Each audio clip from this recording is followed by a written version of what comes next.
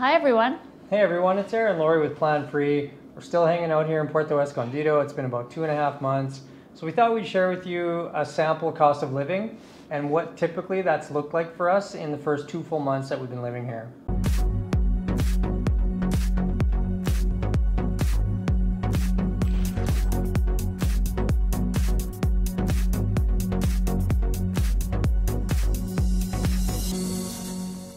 We've had some comments in some of our other videos in the area, as well as people we meet on the street asking us what the cost of living is in Puerto. How much is it to buy fish per kilo? What's What are rents like? So this video's for you.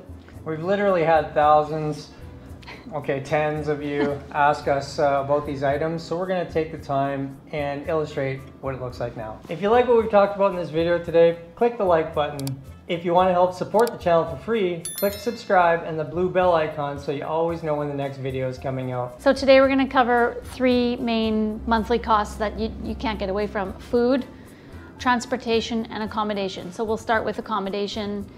That's always going to be your choice, but we'll start with what our exact physical costs were for accommodations, our transportation, what we chose, and then what our monthly food budget was for December and for January, and we'll give you an average and all that. I'm kind of the numbers girl, the detaily budget kind of girl. He's the macro thinker, big picture thinker, so I'm the one who kept the receipts and tallied them all up and stuff, so um, I'll be the one doing most of the talking today. For accommodation, um, just check our channel. We have a handful of other videos that we've done on accommodations. We looked extensively and we still continue to keep our uh, toe in the pool on that one. Anyway, check out those other uh, videos because those ones show you a good smattering of what we saw when we first landed.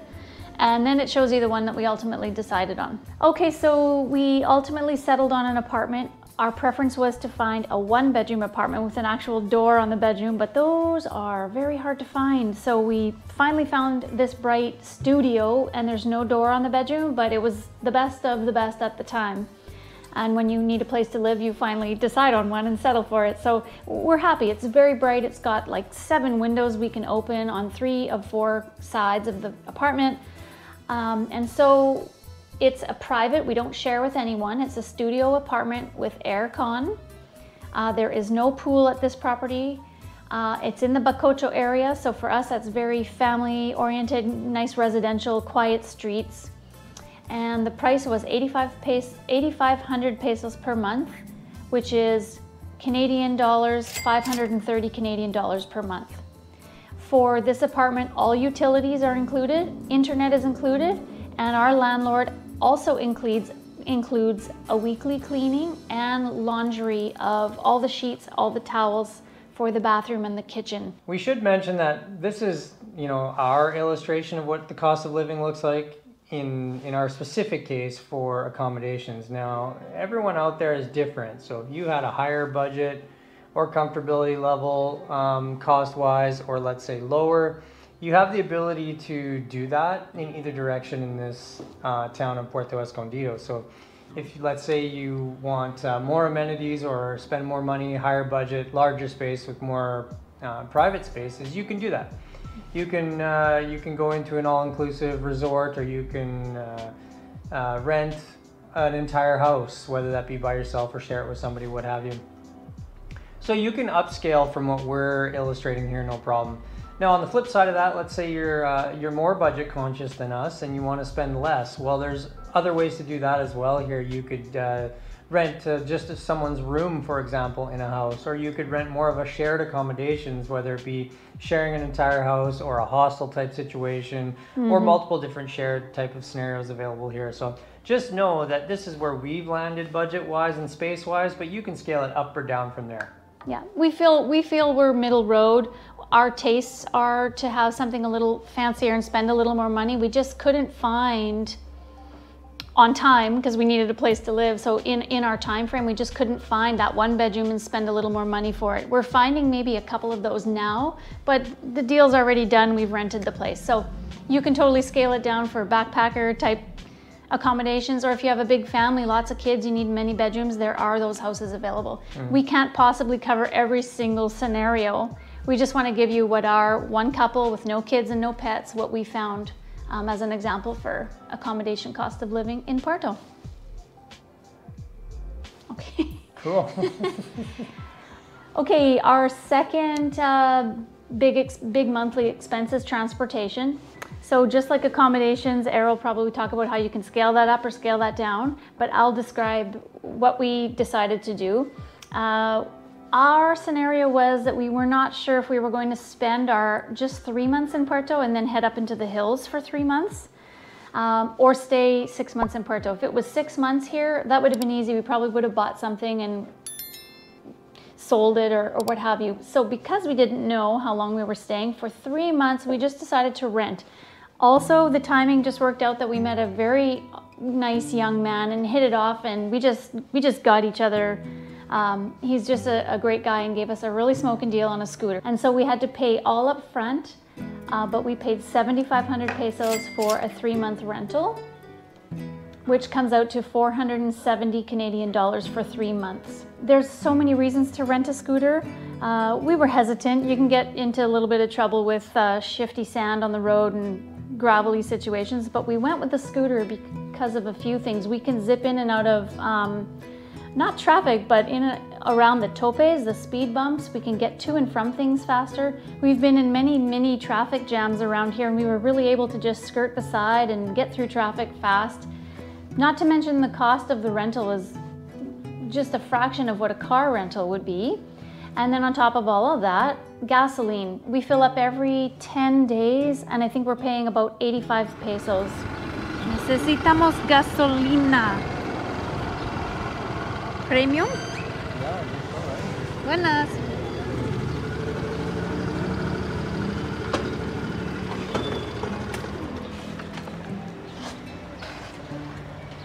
¿El premium funciona hoy, señor? ¿Sí? Muy bien. Uh. Uh, lleno, por favor. Sí, gracias. Do you have money or do you? I You do too? Okay. I'm not sure.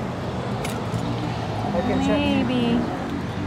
Maybe, maybe. I have. I grabbed uh, a 100. Oh, and here uh, they accept the tarjeta también, ¿sí? Visa y Mastercard. Visa y Mastercard. Which is just a little over five Canadian dollars to fill the tank. Muy bien, and we gracias. scoot everywhere for 10 days. Yeah, so we're I think we're at about uh, a little over sixteen dollars Canadian per month for gas right now, which is pretty economical. Yep. So again, similar to accommodations, everyone, you can scale up or back your transportation costs. So again, the scooter is where we've landed and the prices that we're illustrating is according to that. But you could spend more on, let's say, anywhere from a motorcycle to a quad to a car, a truck, SUV, you know, whatever your budget or needs might be appropriate for. On the flip side of that, you can scale it down. You could rent or purchase a pedal bike, for example. You could take advantage of the local taxi cabs or the local bus systems, anywhere from colectivos to other bands or uh, any multitude of the public transit system is very popularly used here. You could also consider walking. Uh, we see a lot of people do it, and we know from experience now that largely Puerto Escondido is walkable. And in those few scenarios where you were in a situation where it was a little far, you didn't want to walk, those other options are still available. Taxis, colectivos, what have you. So you could almost reduce your transportation costs to almost nothing if you're walking scale it up a little bit with the steps that I've talked about. The colectivos, uh, we have not taken them, but they're 10 pesos per ride. So you get on at whatever point and you ride it until you're ready to get off. When you hop off, you just pay 10 pesos. So it's as short or as long as you want the distance to be. But that's a super awesome way to get out of the heat and cover some good distance. Yeah. And the colectivos run from here to pretty much everywhere you want to go and back. But we do not claim to be experts. Don't please don't ask us in comments. Uh, we do not claim to be experts on the routes. It's actually at this point still quite confusing. I'm really thankful we have a scooter because they have a bunch of names at the front of the colectivos and you kind of hope it's going your direction. Um, anyway, smarter people than me have figured out the colectivos. Okay, our third major expense, which we didn't really know if we should decide yes or no should we include it because we eat in Canada we eat wherever we travel we have to eat. So we figured maybe that's just equivalent everywhere. But you know it, it isn't. We wanted to show cost of living in Mexico as compared to where we're from and it's it is significantly less. I would say depending on if we're buying organic beef or at home or whether we're uh, fasting several days a week, you know, there's so many variables variables with your food budget. I would say back home in Canada, our budget's right around 900 Canadian dollars a month to maybe a thousand if I'm getting some specialty items. Here, I'm gonna break it down for you. Our, our average over the last two months living in Puerto has been about 600 Canadian dollars. And that is eating out almost one, at least once to almost every meal out every day. Yeah, I'd say we're probably on average uh, eating out more than 20 times a month when you include sometimes we uh, eat lunch out. Every now and then we'll eat breakfast out, not that often, but most of the time it's dinner. With the combination of those things, I'd say we're probably eating out more than 20 times a month right now. It's a lot and it's really great. Although the best meals are still being had at home. Thankfully, she's a good cook. Thanks, honey. They're You're pretty welcome. they're pretty good. And you know, it's funny because you're so pumped up the first few weeks. You're like tacos, yes, every night. Mexican food. After a while though, you're like, "Oh man, can you make those lazy cabbage rolls? Can you make something that we're familiar with, right? A beef stew or whatever." So Okay, so groceries. There's uh, options here. You, there's one big major grocery store called Chedraui. Everyone here calls it Chez or Super Chez. So at the Chedraui, it's kind of a big grocery store department store. There's like a clothing section on one side with like electronics and houseware, baby stuff. And then there's a, a wine and beer and alcohol section, and then your regular meat, produce, and bakery and everything. So that's your one major grocery store, uh, a good option to go, and we'll talk about that in a second. And then there's your local markets, uh, like they're like a big covered uh, market where many vendors come together and you can buy your veggies and your meats and your fish and your flowers and your candles and your flip flops. So it's like a big farmer's kind of market, except it's not all farmer's market stuff, and we'll talk about that in a minute too. Then there's your really local markets. You're walking down the street and you look and there's a hole in the wall, it opens up and somebody has a fruit, fruit and veggie stand. So there's just levels of um, purchasing. Um, there's just uh, multiple options to purchase and it depends on where you live. If you don't want to walk to the big farmer's market, then maybe you, your little corner market with some fresh fruits and veggies is good enough for you. So the reason why Chez, the big supermarket, is good is there, there's going to be things there that you can't find anywhere else. They have a big import aisle, which we're going to show in our video here. They have a, a section where you can where you can find um, even things like uh, sushi sushi rice, uh, ginger in a bottle, all the imported fancy stuff, some fancy olives, some, some fancy olive oils, coconut oils, quinoa fancy granola and chocolates you might not find anywhere else in this small t- Mexican town. Um, and and the grocery store is kind of a one-stop shop too. Like we all know what a big grocery store is. You go there and you can get almost any- anything in one one fell swoop. So it's convenient, right? Um, we have noticed that the prices are higher. Maybe you pay for that convenience and you pay for that aircon.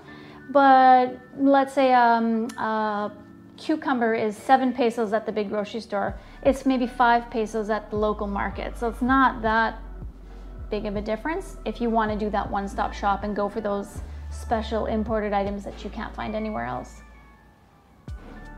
But still, you're, you know, even between five and seven pesos, that's somewhere in the neighborhood of 20%. So if you extrapolate that across your whole grocery bill, you're probably looking at mm, somewhere in the neighborhood of 20% difference to shop at Chez compared to shopping at uh, Benito Juarez Market, for example. Absolutely. That's a really good point. It is. So we've heard some people say that the prices are double for fruits and vegetables and stuff at Chez. I have not seen double, but I have seen more, but marginally more. And then also, how long are you staying in, in Puerto? Are you staying here two weeks where, meh, it's just easier to go to Chez? Or are you living here or staying three, six months where you maybe want to pinch here and there and, and see how low you can get your budget just for giggles? Right. Stuff like fish and seafood we have not seen at Chez. I can't even think of a piece of fish that I saw there, but you can get your pork, chicken, and your beef. And it's all the cellophane uh, wrapped up, probably mass produced um, offerings, much like back home. Nothing organic that we've seen at Chez. Okay, so buying from the larger markets, there's actually two large markets in Puerto. We kind of thought there was only one for the longest time, called Benito Juarez Market. Um, but there's Zicatela Market, which is also very huge. So in these two markets, I'll call them a large farmers market because many vendors come together, as I mentioned before. The offerings are bountiful. Like our eyes, we were just like, oh my God, mountains of produce and beautiful colors everywhere. It's just very exciting. Just know though that those are more mass produced. They may have pesticides and, and things on them to get that crop to look just so perfect. Totally fine. It just depends on what you're into. We eat some of that stuff and we also eat some organic. It just depends on what where, we can find that particular day or week or yeah when i have time to go to an organic market or not so but just know that when you see those bountiful beautiful um, stands and everything's looking the same it's probably not um, locally grown locally grown but that said in those big markets along the edges and you can ask the vendors orgánico oh una pregunta por favor uh, hay frutas y vegetales orgánicos aquí ¿Orgánico? ¿Orgánico al mer mercado aquí? Sí. ¿Sí? ¿Dónde es, por favor? And you can tell when you look at it, it looks a little different and it's stuff that maybe they collected around their, their finca, their, their yard. So the one thing we the one thing we did find at the local big farmers market, Benito Juarez Market, is fish and seafood. Woo, plenty of it too. Yeah. So people have asked us in comments and on other videos, can you guys do a cost of living? So we did film some fish uh, vendors um, at the markets and then a little, in a few more minutes, we'll, we'll show you the footage that we got right on the beach um, from the local fishermen when they come in in the morning. So the fish and seafood at the markets, we got prices in the inside the market and then right outside the market on the streets and shrimps ranged anywhere from 170 pesos to 190 pesos per kilo. That's about $10.50 Canadian to about 11 11.80 Canadian. Fish was also 150 to 180 pesos per kilo. You buy, you can buy them um, whole, and some of the vendors will clean it and fillet them for you, and and that's an awesome value added. You just pay for the whole fish up front. They'll clean it up and give you the edible parts in a bag. Mm -hmm. And that's handy for us because uh, neither of us are really so into filleting fish anymore, but we prefer to eat fish fillets rather than trying to pick through an entire fish and dealing with all those bones. So. Okay, so on the topic of fish and seafood, we got a tip from someone that you could go down to a local um, playa here and buy fish directly from the fishermen. Wow, we were all over that. We get up before sunrise. We're down there all eager. It's dark out still. Oh. We're watching the fishermen come right up on the shore with their boats. So we're like, man, we're gonna save so much money. And the scene was cool, man. It was high energy. These people are like, they're doing their thing. People are in there grabbing yeah. fish, and we're like, yeah, we found it now. That part was the coolest for sure. Okay, so when we asked the prices, they were 150 to 180 uh, pesos per kilo. It was literally the same prices at the market. So I'm not sure if maybe we missed something or maybe we didn't look in the right places, but right. we didn't really see a lot of price savings when we were down there. We didn't, and we did not see the variety. The, the fishermen would come in and open their big coolers, and it was all a bunch of little tiny guys that's not our speed for fish. We're more into like a bigger red snapper or something of, of the sort. And all those prices were the same as at the market. So for us, we're just gonna go to the market and tell you that the prices were so darn close. Just go to the market. The vendors there are wonderful to talk to, interested to see a, a white face and have someone speak a little Spanish and they'll clean it up for you. They'll give you the fish head if you want it to boil some um, chowder at home later. Yeah, now if any of you local Smarty Pants types that have been hanging around in Puerto Escondido for quite some time have additional information or tips and tricks on um, buying seafood directly down there on the beach from the fishermen, feel free to jump in the comments below this video and add uh, your experience to it. Okay, so the last little sub point on the food um, portion of our monthly expenses would be restaurants. They really vary. There's a million options in Puerto, which is super fun and super cool.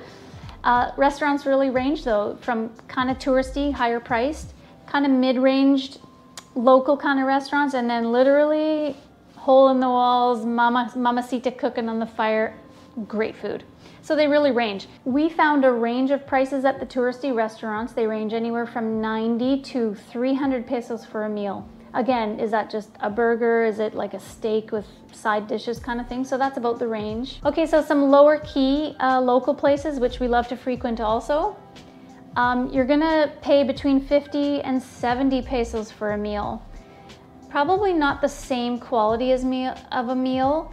For example, your burger might be 100 pesos to maybe 150 pesos for a burger. Your spaghetti might be somewhere between 40 and 80 pesos, but again, it's more simple than your fancy restaurants. So in summary for the food, um, for us, we had a December, a full month of December of eating uh, at home and out, and then we had a full month of January. Our full month cost for food for December was the equivalent of 672 Canadian dollars, and our full month of January was 538 Canadian dollars. So when we average those two months out, we come to about 600 Canadian dollars to eat in and out, shopping all over, not even thinking about it. We're hungry, go out. It was, it's been wonderful for 600 Canadian dollars for two people. Mm-hmm. All right, in summary, with our three major components that we've touched on accommodation, transportation, and food our average monthly cost of living comes to accommodation of around $530 Canadian, transportation of about $170 Canadian, and like Lori just mentioned, our food costs average out at about $600 Canadian. Mm-hmm. For a total monthly cost of living of the items that we've talked about of Canadian dollars, $1,300 per month. As you continue to gather information about Puerto Escondido, we recommend you watch this video next. If you like what we've talked about in this video today, click the like button. If you want to help support the channel for free, click subscribe and the blue bell icon so you always know when the next video is coming out. And we'll be continuing to make content for you about our misadventures in Mexico here over the next four months or so, as we're staying here for six months in total this year.